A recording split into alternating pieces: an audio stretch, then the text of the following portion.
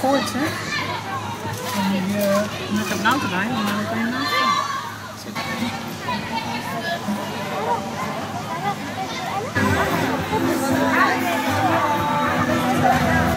Even nog bijna droog.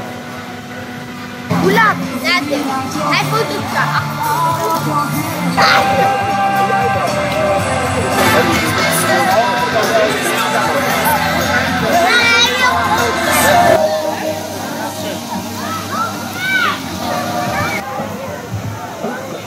上去。